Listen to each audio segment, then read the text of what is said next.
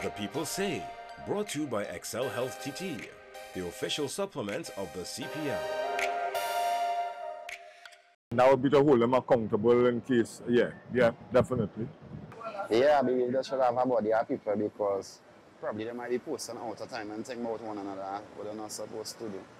I would say yes because the things you put out there would have rippling effects on the nation on a whole. And we just need to be mindful of the things we do and the things we say. No, monitor what they post on social media? no. Why? Because you figure them should know better.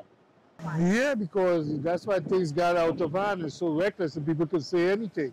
Just simply because is you know, the internet, you don't abuse it. I think it's a very good idea because sometimes you could say something that you don't mean and you have, you have to have the knowledge and the wisdom to pick up what people saying as gimmick and not. The People Say, brought to you by Excel Health TT, the official supplement of the CPL.